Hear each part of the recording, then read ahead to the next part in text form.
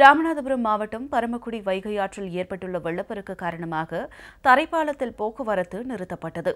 மேற்கு தொடர்ச்சி மலையில் பெய்து வரும் தொடர் மழை காரணமாக தேனி மாவட்டம் ஆண்டிப்பட்டி வைகை அணையில் நீர்வரத்து அதிகரித்து அணையிலிருந்து ஏழாயிரம் கன அடி தண்ணீர் திறந்துவிடப்பட்டுள்ளது வைகை ஆற்றில் அளவுக்கு அதிகமாக தண்ணீர் செல்வதால் பரமக்குடி யமனேஸ்வரம் பகுதியை இணைக்கும் தரைப்பாலத்தின் இரு கரைகளையும் தொட்டபடி தண்ணீர் சென்றது. இதனால் தரைப்பாலத்தில் போக்குவரத்து நிறுத்தப்பட்டது. இரு கரைகளிலும் போலீசார் நிறுத்தப்பட்டு பொதுமக்கள் ஆற்றல் இறங்காதவாறு பாதுகாப்பு பணியில் ஈடுபட்டனர். தொடர்ந்து பத்து மணி நேரத்திற்கும் மேலாக ஆறாயிரம் கன அடி நீர் செல்லும் என்று பொதுப்பணித்துறை அதிகாரிகள் தெரிவித்தனர்.